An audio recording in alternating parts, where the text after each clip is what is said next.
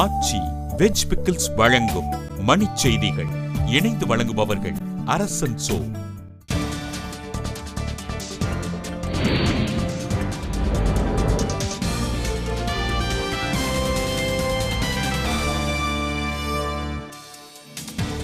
உலங்கு ஊர்தி ஊழலில் சோனியா காந்தி பிரதமருக்கு தொடர்பு இருப்பதாக தகவல்.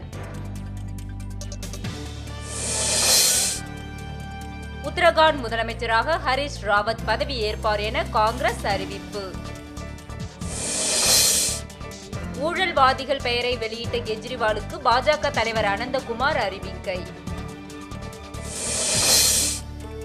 போராட்டத்தை திரும்ப பெறவில்லை என அரசு செவிலியர் பயிற்சி மாணவிகள் அறிவிப்பு. பால் விலையை இரண்டு ரூபாய் உயர்த்தியது தனியார் பால் நிறுவனம். விலை உயர்வை கட்டுப்படுத்த பொதுமக்கள் கோரிக்கை. உயர்வு கோரி நாமக்கல்லில் நார்பட்டு துணி உற்பத்தியாளர்கள் வேலை நிறுத்தம்.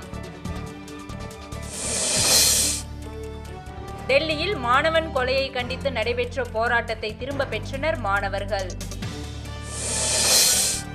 பேச்சுவார்த்தை தோல்வி அடைந்ததால் திருப்பூர் பாத்திர தொழிலாளர்கள் வேலை நிறுத்தம் ஐந்தாவது நாளாக நீட்டிப்பு.